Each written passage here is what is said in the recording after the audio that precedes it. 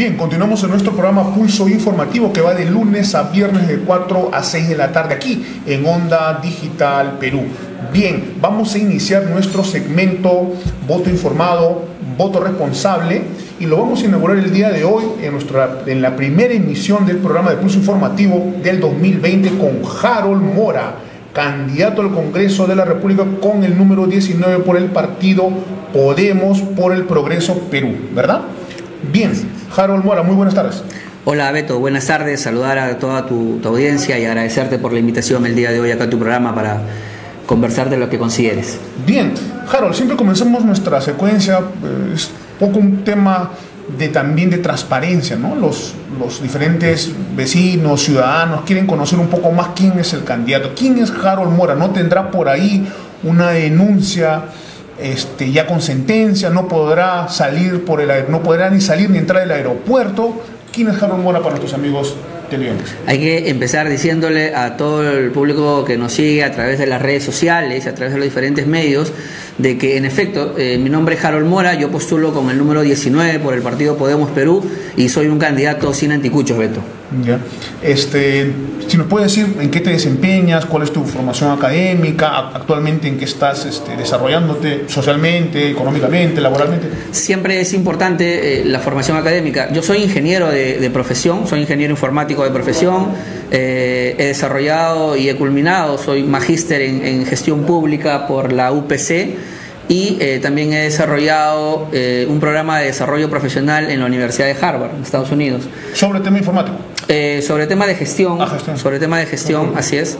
Y bueno, con una experiencia importante, he trabajado en aproximadamente cinco o seis ministerios y considero que esa experiencia hoy en día desde el Congreso debemos de volcarlas en leyes que favorezcan a todos los peruanos y no solamente a unos pocos, como se ha venido dando a través de este Congreso disuelto que ya todos los peruanos conocemos, ¿no? Si bien este, eres alguien que tiene una sólida formación profesional y también has desarrollado actividades profesionales en diferentes ámbitos, has ingresado a la política y por qué Podemos por el progreso del país? Porque en esta organización política bastante joven, ¿no? Porque tenemos entendido que no tiene todavía ni siquiera cinco años, ha sido fundado pues bajo las bases, bajo los ah, respaldos que tuvo en un determinado momento el señor Luis Castañeda López y sabemos que el señor José Luna Galvez después, bueno, con muchos de sus integrantes, constituyeron un nuevo partido. ¿Por qué en este partido joven te animó a participar activamente en la política? Es verdad, es verdad lo que comentas, Beto. Eh, ¿Por qué en Podemos Perú? Podemos Perú, como bien lo has mencionado, es un partido joven, es un partido relativamente nuevo, tiene poco más de un año de creado. Y bueno, la, primera experiencia política del partido propiamente dicho fue en las elecciones municipales en donde quedamos en segundo lugar, obteniendo 1.200.000 votos. Quien lideraba eh, era el señor Daniel Urresti, quien hoy en día también lidera, encabeza la, la lista de, de candidatos al Congreso por el partido Podemos Perú. Entonces, el partido Podemos Perú es un partido no solamente joven, es un partido democrático, es un partido en donde a través de tus cámaras aprovecho para invitar a todos los jóvenes del Perú, porque es un partido donde te da las puertas, te brinda las puertas abiertas para que los jóvenes puedan hacer carrera y vida política. Entonces, este, considero de que es un partido que te da todas las herramientas necesarias como para poder desarrollarse en beneficio de toda la población. Y hay un, hay un norte programático, hay una agenda congresal de Podemos para este periodo que se va a iniciar este 2020? ¿Hay una propuesta programática? ¿Hay una agenda programática o todavía no lo han definido y esperan llegar ustedes al Parlamento Nacional? No solamente programática, Beto, sino consensuada, definida y suscrita por cada uno de los 36 candidatos que vamos por, por, por Lima específicamente y también a nivel nacional. Y en esas entre una de las que por ahí podemos mencionar, porque seguro el tiempo nos va a quedar corto, son ocho compromisos los que tenemos como bancada, pero uno de los más importantes es el tema de la eliminación de los privilegios que actualmente tienen los congresistas. No es posible y en estos momentos lo que nosotros queremos como bancada es poder eliminar todas esas gollerías que tienen los congresistas. No es posible que el congresista tenga que estar cobrando un sueldo en julio, un sueldo en diciembre y adicionalmente a ello, eh, todos los peruanos cobramos 300 soles, es lo que acaba de definir el Ejecutivo, eh, por bono de escolaridad. Un congresista cobra 15.600 soles. Y el agravante de todo esto es que lo cobra el que tiene y el que no tiene hijos, Beto. Entonces hay cosas que hay que cambiar. Más gastos de instalación, de desinstalación. No, y no hemos llegado a ese punto todavía. Y qué bueno que lo has mencionado, porque el congresista por Lima, ¿qué razón tendría de que tenga que cobrar 7.500 soles de bono de instalación? Se podría sobreentender, Beto, para aquellos congresistas electos del interior del país. ¿no? Que hay un tema de desplazamiento, que vienen, se instalan, lo que fuese. Pero para un congresista por Lima, que vive en Lima, es inexplicable que tengamos que darle 7.500 soles. De manera personal, como Harold Mora, yo renuncio a ese bono eh, de llegar al Congreso. Estamos claros de que esas cosas deben de eliminarse.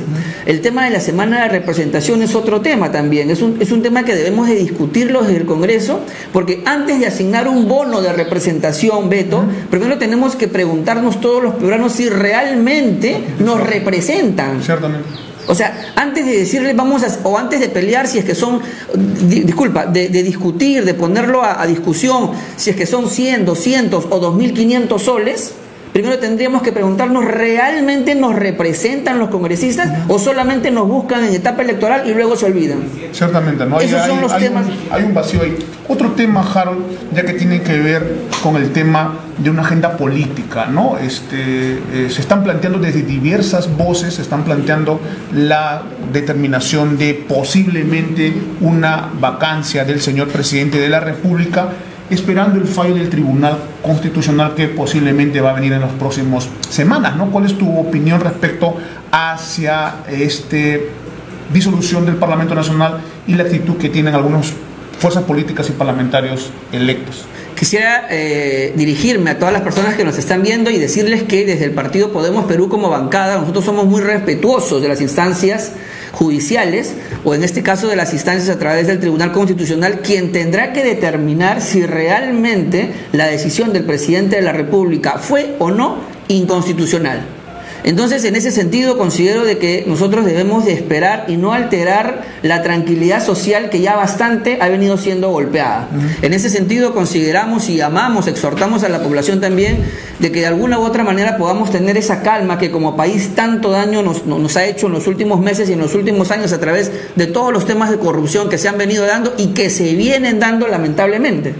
Entonces, en ese sentido, considero de que deberíamos estar tranquilos y esperar el pronunciamiento oficial del Tribunal Constitucional y de acuerdo a ello tomaremos las medidas que sean necesarias por el bien del país. Harold, ¿y tus, y tus principales propuestas a los ciudadanos en qué temas están referidos, hacia dónde estás trabajando? Principalmente en el tema de educación. Eh, ¿Y por qué en el tema de educación? Considero y estoy completamente convencido de que la educación es el motor principal para el desarrollo de un país y qué mejor que para nuestro Perú.